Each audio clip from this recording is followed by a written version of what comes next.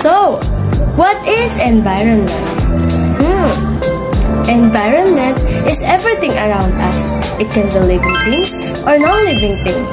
It provides us shelter, food, and natural resources that can help us to live better.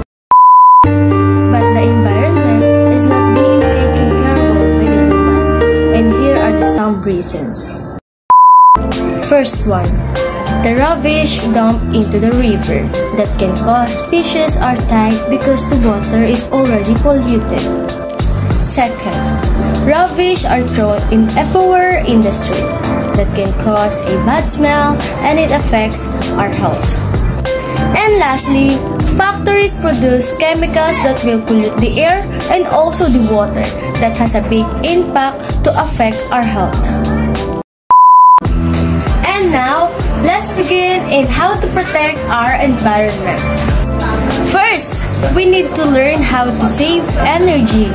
Turn off the lights and other electronic devices you're not using to save energy.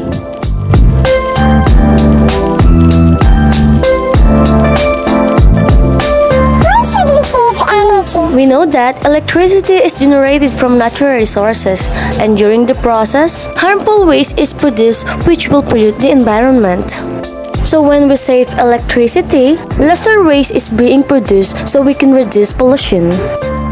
Do avoid wasting water. Make sure that you turn off the water tap after using. Conservation is important? Conserving water is important because it keeps water pure and clean while protecting the environment. Conserving water means using our water supply wisely and be responsible.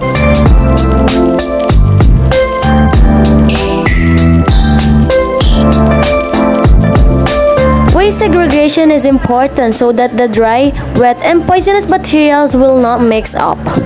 This is the most relevant step that will help the environment and help us to reduce the garbage in landfills.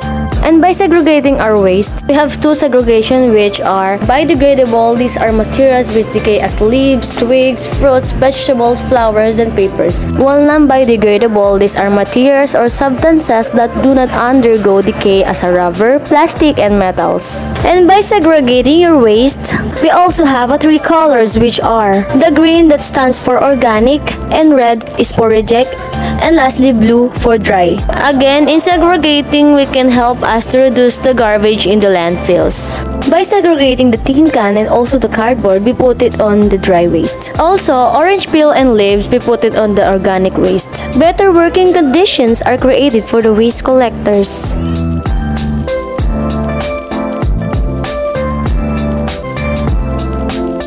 The waste collectors only touch dry waste, which are the following. And after segregating, we also have recycle. The importance of e-waste management. The recycling of e-waste serves a lot of useful purposes. For instance, include protecting human and environment health by keeping those devices out landfills. Planting more trees can help in reducing the levels of air pollution as they absorb pollutant gases and filter out the particulates. Trees gives off oxygen that we need to breathe. We know that trees bring us peacefulness. It creates a pleasant and relaxing environment. Also, trees reflecting the harmful rays of the sun and maintaining a balanced temperature. We need to plant trees to preserve our environment.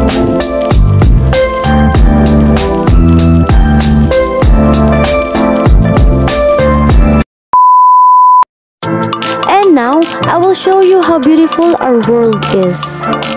We only have one Earth. Let's take care of it. Our environment is the surroundings where we live.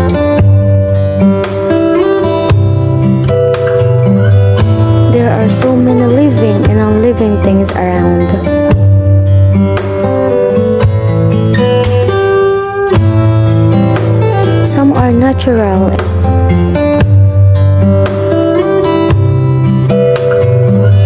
and some are man-made. Either way, we have gone through such a living that we cannot skip these things in our day-to-day life. We know that environment plays an important role in healthy living and existence of life on planet Earth.